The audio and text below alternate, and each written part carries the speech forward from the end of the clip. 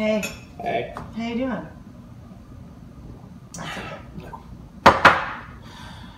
You know, I, I, I keep thinking about that 21 year anniversary show, and it's it's funny because after Ace, I'm sorry, Aaron did the thing that he did. It's like that's when I realized everyone I've considered like a friend or a brother Mm. has turned their back on me at some point or another.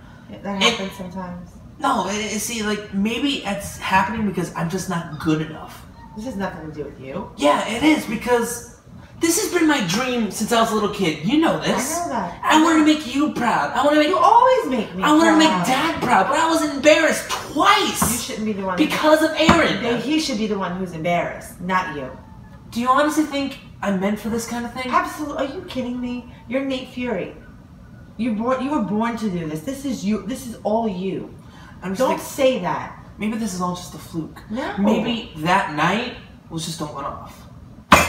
Not so. Not at all. Listen to me. This is what you dream. This is what you've always dreamed of. This is what you live for. Don't don't think that way. You're Nate Fury. Go out there and show them what you're made of. Show them what the Fury is all about. Don't let somebody else dictate your future or what's in store for you. You go out there and you get yours. You get what belongs to you. Do you understand me? You really Look at me. You can do this. You really think so? Absolutely. Thanks, Mom. You're welcome. Go get him. Holy crap! It's almost nine. You gotta get to work.